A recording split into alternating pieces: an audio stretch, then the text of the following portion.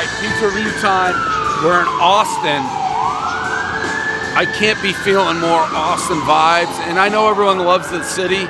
Stay weird, Austin. I think that's their thing, right? Like bunch of hippies. The guy who served, served me this paper, no, uh, pizza, no disrespect, straight essential casting for hippie. Nose ring, tight little shirt, super super duper hippie. Um, this place, placeholders, little something to uh, little until something better comes along. I love that slogan.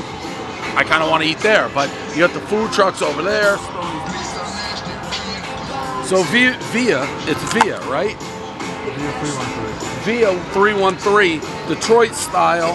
Um, I guess they get a food truck that only serves the Detroit style. That's the original. And then they also have a, a physical location, brick and mortar, that does everything. So as you always know, Detroit style, somebody started, they said, hey, skimp on the sauce. Don't give them a lot of sauce, marinara. Make them really want that marinara. So here we go. Via 13, uh, what is it?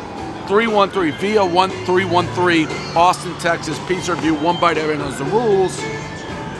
See what we got.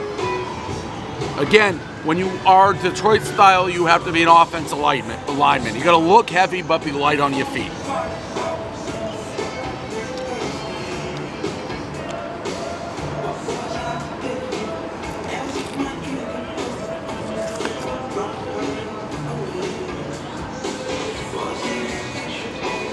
You know what?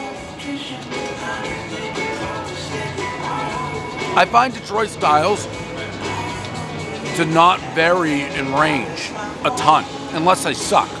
But a good Detroit style, all seem for me, 7.5, 7.7, really great 7.8 range. This is a good, this is a good Detroit style. 7.5. Like,